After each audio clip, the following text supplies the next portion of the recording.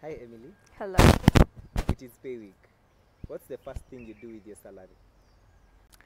Uh, okay, so basically, after getting the message of you have received your salary, the next message I usually get is uh, a certain amount has been deducted for these, a certain amount has been deducted to these. You know, yeah. So the first thing I do with my salary is pay my bills. Um, this is because I understand my money spending habits and as a result i have opted to automate my bills so that the essentials are taken care of before i go on spending money. So what i usually do is um, every month i have uh, the list of my bills that uh, i cannot avoid like the list of my monthly shopping. I have uh, maybe the rent and the utilities that i have to pay. And i have automated these using mpesa ratiba whereby once i've put the money in my mpesa it goes straight into like paying for my rent and my other bills such as utilities. Uh, and then for my shopping i have this app where I, have automated my monthly shoppings. These are the the needs that i have every month that won't be changing.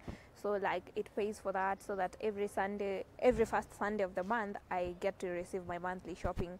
So basically by automating my expenses and this can be done even like if you your money goes to your bank you can actually automate your money from your current account such that it goes into say repaying your loans and debts. Uh, and that way you can save time when it comes to like spending. And it's also less stressful because over time once you have money of course there are so many other things that can distract you from achieving your financial goals. So basically, uh, according to me, I think it's wise that everyone automates their uh, say savings and bills. Uh, for example, if you use a budgeting rule, I do not use the 50-30 rule, but for those people who do, maybe with your 50% for needs, have you like automated say your rent, your utilities and stuff like that? And then for your savings also, it's very important to pay yourself first by automating your savings. Uh, so yeah, that's the first thing I do when I receive my salary.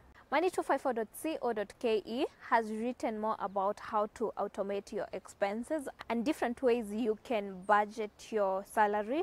Click on the link on our bio to learn more.